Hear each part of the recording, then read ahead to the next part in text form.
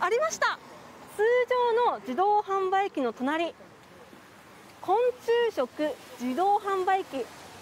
佐賀県内初と書かれてます。現れたのは昆虫食の自動販売機。設置したのは宮城町で海水魚や熱帯魚爬虫類の販売やリースをしているアクアシーです。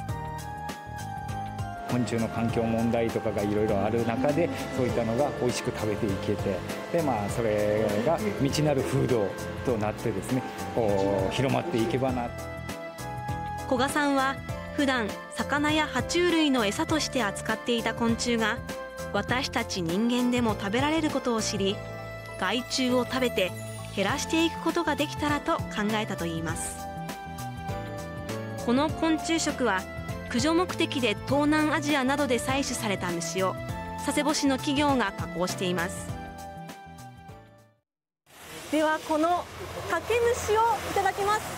実は私昆虫は全然怖くなくて大丈夫と思ったんですけどこの見た目はさすがに抵抗があります。いただきます。うん。香ばしい。美味しい。なんかナッツみたいな味がします。あうん。意外といけますね。昆虫の種類はコオロギやバッタタケムシやゲンゴロウなど7種類。素揚げや乾燥させたもので1瓶1000円となっています。初心者向けにはコオロギパウダーをすり込んだクッキーもあります。また昆虫にも旬があることから1ヶ月ごとに内容が変わるということです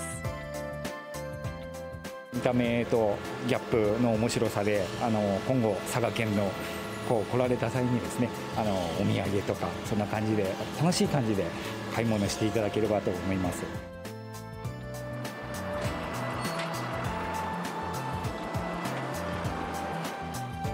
全然食べたことないです。はい。ちょっと興味あってちょっと会社に持って帰って食べてもらおうかなと。自分のペットにはあげてるんで、まあ、ペットの気持ちをですねどんなもんかと思って買いました。きっと美味しいんだろうなと 思って、まあ、今晩のお酒のあてで楽しませてもらって。